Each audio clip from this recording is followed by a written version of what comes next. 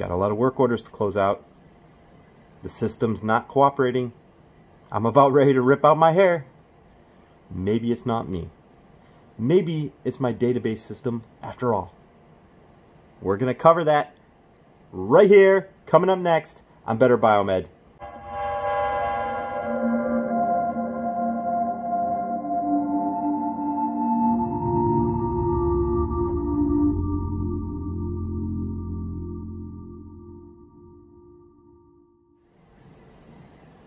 Hey guys, welcome back to Better Biomed. Today I would like to cover medical equipment databases or CMMS systems. There are many of these software packages on the market and hospitals are buying them up. You're going to move between hospitals. You're going to get a, a new database system with every single one. It's guaranteed. They're not all good. Some of them are kind of good. And as technology progresses towards maybe using mobile devices to help close work orders, it's going to get better. But right now, oh, it's not that good. And I'm talking about you, Nuvolo. I'm talking about you. Your workflow's horrible. You're not that fast. You're not always accurate. And your workflow is horrible. There's many other systems on the market. We've got Maintenance Connection. We got, what, Four Rivers, Three Rivers, whatever you want to call it. There's Medimizer uh, Asset Essentials, Accruent. There's a whole bunch of them. And they all do about the same thing.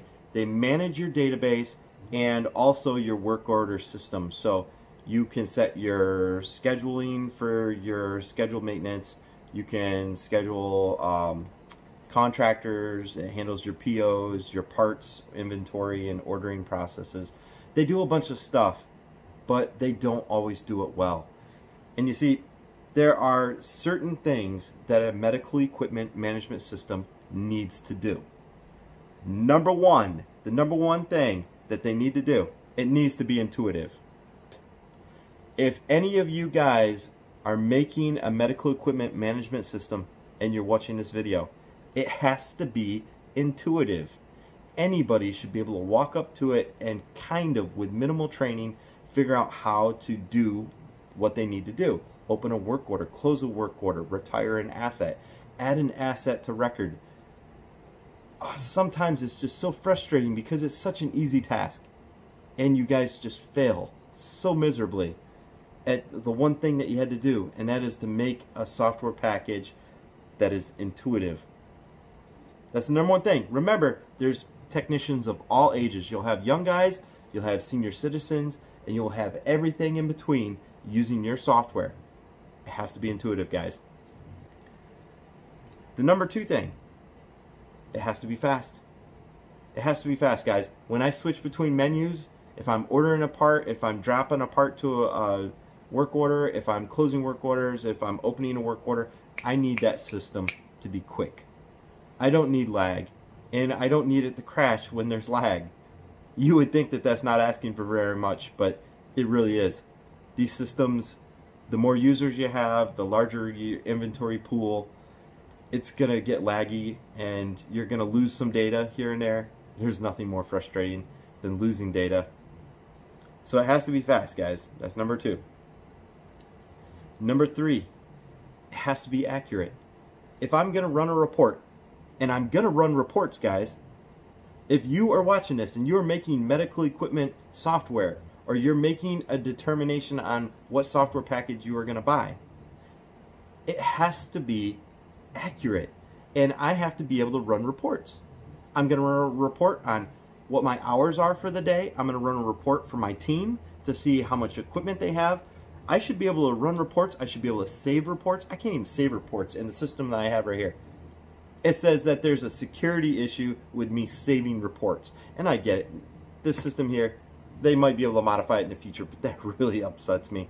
I can't even save a report. Like I'm gonna really clickety clack through all those options every single day that I want to run a report, and I'm gonna run these reports every day, every day. I'm gonna see where my team's at, how, what my hours are, what their hours are, what equipment that we still have left after a day's worth of maintenance. As a team leader, I'm gonna pull a report that shows how much essential equipment, uh, high risk, or how much life support devices we have, I'm going to run that report daily. And I have to run that stupid report with every single option. I'm going to show you guys. I'm going to show you. Don't worry. That's coming up. And not always does it come up with the right data. It's, it's just amazing. One, one stupid little thing I want to add there. I tried to run a scheduled maintenance report today. And believe it or not, like preventive maintenance, you would think it's just one option, right? Like preventive maintenance, unscheduled maintenance, scheduled maintenance, yada yada. Preventive maintenance should be one option on the drop down. There was four or five different preventive maintenance. And if you don't have the right one clicked, your results are going to be zero or it's going to be minimal. Why do I have four different versions of preventive maintenance on my drop down menu to select from? Come on, guys.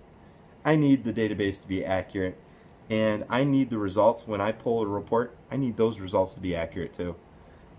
Nuvolo, guys, you're failing there. Really bad, really bad. All right, let's talk about one of the most important things that a medical equipment management system will do. It's got to have a good workflow. Every single technician out there that's seeing this video, you know exactly what I'm talking about it has to have good workflow. When I open up a work order, I want to start at the top with equipment ID and I want to go down from there. As soon as I put that equipment ID in, I want to see a couple things populate, the model and the serial number. As you work your way down through the work order, it should have certain things like what's the reason for the work order? What are the technician's notes? I should be able to attach files rather easily to the work order. And as we get down to the bottom of the work order, that's where I should end my closing remarks and uh, have file attachments. At the very beginning, I, I don't understand why I have certain menus like, what was the menu that I, I had to deal with today? Projected start time. Really, guys? Projected start time? The start time is when my hours, when I drop my labor to the work order, or when I accepted the work order, that's my projected start time. It's right now. I'm not going to project it for two hours from now? Are you kidding me? Who designs this software? I'm telling you right now, the workflow has to be very smooth from the beginning of the work order all the way down to the bottom. And it doesn't make any sense in Nuvolo. I've, I've used two different versions of Nuvolo. I've used the GE version, which they have their customizations. There's ISO and 9001, whatever you want to call it. And then I've used the one for my current hospital, and it's a new implementation. So they're working through some of the bugs, but it's still Nuvolo. It's still got the same problems. So the problem with Nuvolo, we're going to see it in just a moment. You're going to be jumping all over the work order. And you're going to go to different tabs, which are going to take you to a different page.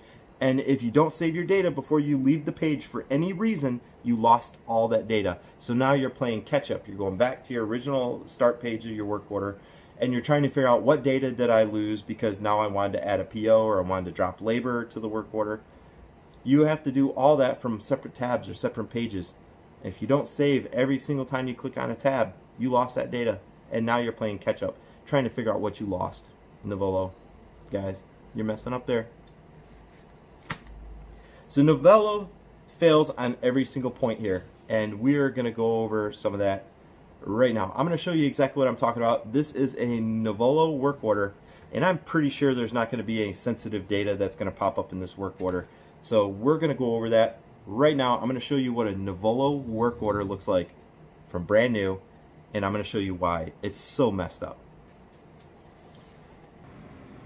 Okay guys, here we have our Nuvolo work order. And you can see my data up here and they have these tabs that nobody ever seems to really use right here. They're not really tabs. They're just showing you what stage of the work order that you're in. Absolutely useless information. Nobody uses that.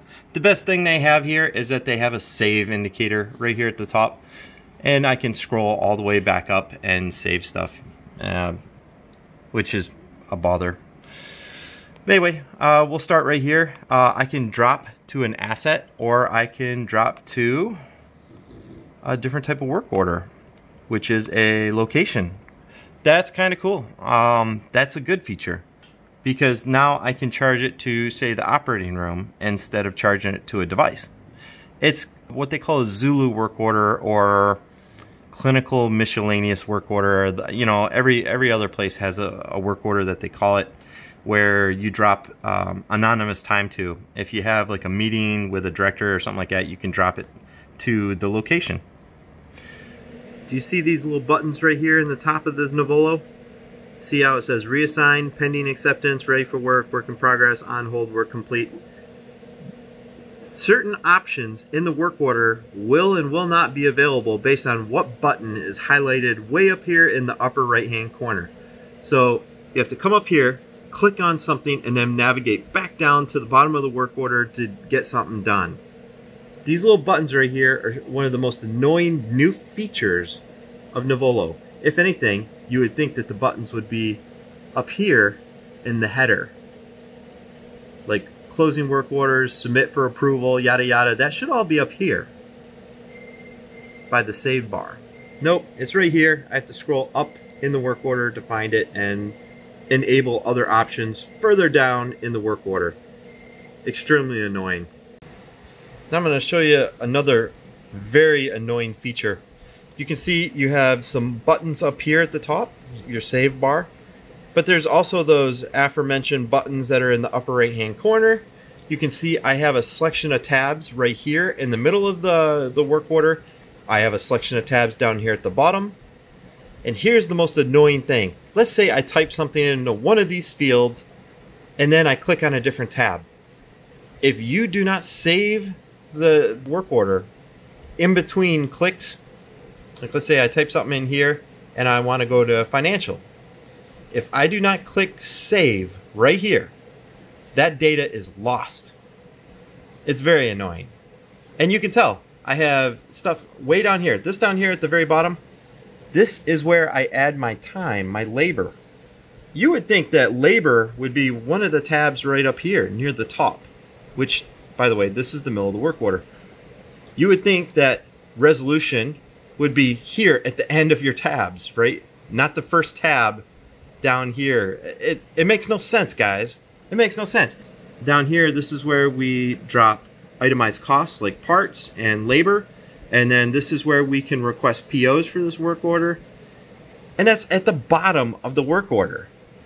Why do we request parts and drop our time and request POs? Why is that at the very bottom of the work order? So I have to type in some of my data and then I have to scroll all the way down to the bottom. Then I have to go all the way up clickety clack some of those buttons that I showed you at the very top.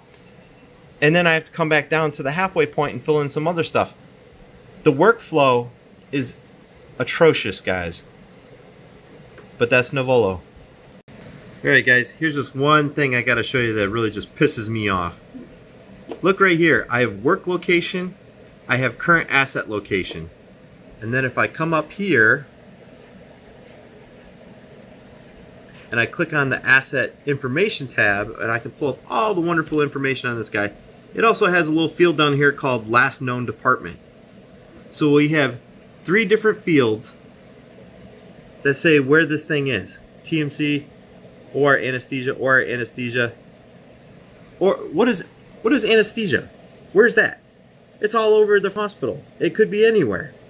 It's insane given that's a database problem. But that just shows you some of the problems with this database, is that there are three fields that tell you where this item is. That's a problem. Three fields. Now, when I say that this system has a lot of ridiculous options, that's just a couple of them right there. There's too many fields that tell you where this item potentially could be. So guys, this would be my fourth take on this video because I kept trying to record the Nuvolo work orders so I could show you the workflow and it's just not happening. Either my camera doesn't agree with the refresh rate of the display so it's constantly trying to focus or there's critical and probably sensitive information that keeps making its way into the frame. Sorry guys, I wish I could show you exactly what pisses me off about Nuvolo. I can't because of privacy issues and it's already like I'm walking on eggshells at my work because of recording video and trying to teach people. And if you Nuvolo guys are watching this video, I'm going to tell you one thing right now. Maybe designing workflow software just isn't for you. It's kind of like when my wife walks in and I'm sitting there singing one of my favorite songs, and she just shakes her head and she's like, Justin, some things just aren't for you, man. You can fix everything, but maybe you can't sing, bud. Just saying. Maybe you guys just can't design workflow software. It's kind of like uh, the Leatherman, you know? Nuvolo is like the Leatherman that I got over here in my toolbox. If I'm in my shop, I've got a Leatherman in there. It does a lot of things, but it does them all not very well. So I never grab it. If I need wire strippers, I'm going to go grab the wire strippers. If I need a flathead screwdriver, I'm going to grab a flathead screwdriver because it's got to have a purpose. It's got to be a tool that's going to enable me and assist me with my mission, not inhibit me. Nuvolo inhibits. Sorry guys, that's the truth, and that's all I got for you today. I would strongly recommend you guys not get Nuvolo. It's got a whole bunch of options for bean counters, and if you're bean counter, that's fantastic. That's good for you. Your technicians are going to be absolutely miserable. Now, I actually left the job because I did not want to deal with Nuvolo. It was a fantastic job.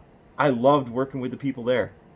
I just could not handle Nuvolo. It drove me absolutely crazy. And GE's version of Nuvolo drove me even crazier because there's all sorts of clickety clacks that you had to have just to close a work order. Like one of the options that we always had to click on was did you use ESD protection? On every work order. I'm talking if you tack something to the wall and you went ahead and created a work order for it, did you use ESD protection? Well, uh, let's see. No, I did not. I didn't. And 99% of your work orders are not going to have ESD protection. Most technicians don't even have ESD mats on their desk. And if they do, when was the last time they tested their ESD straps? Do they even know that there's a 1 mega ohm resistor in that? Do they really? When was the last time they tested it? You're supposed to test it every single time. I bet you they don't. That's all I have for you guys. Sorry to make this such a long and drawn out video. Medical maintenance equipment software. It's supposed to be user friendly, fast, accurate and Nuvolo just isn't. Thanks for watching, guys.